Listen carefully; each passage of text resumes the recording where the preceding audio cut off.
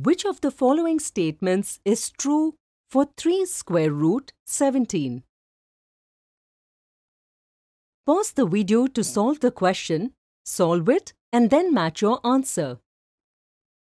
Let us first assume that 3 square root 17 is a rational number.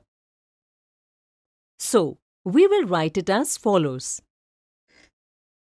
Where P and Q are co-prime numbers. And P and Q have no common factors other than 1. If we rearrange this, we will get square root of 17 is equal to P upon 3Q. You may remember that the division of rational numbers is also a rational number. Thus, we can say that since P and Q are rational numbers, then the value on the right side, which is P upon 3Q, is also a rational number. Therefore, the square root of 17 will also be a rational number. Can you write square root of 17 as p upon 3q? No. The square root of 17 cannot be written as p over 3q. That is, it is an irrational number. This contradiction was caused due to our misconception. Because we considered the square root of 17 as a rational number.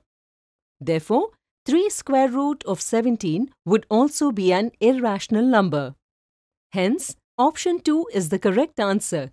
If you have chosen the first option, it is a good try.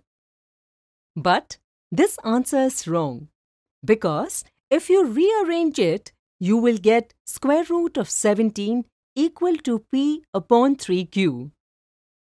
You have determined that on the right hand side, p and q are integers.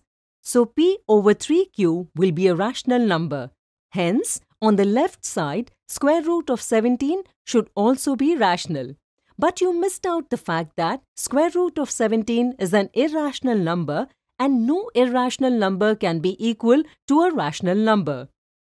Because of this, your answer is wrong. So hopefully, you must have understood why the second option is right in this example and why the first option is wrong.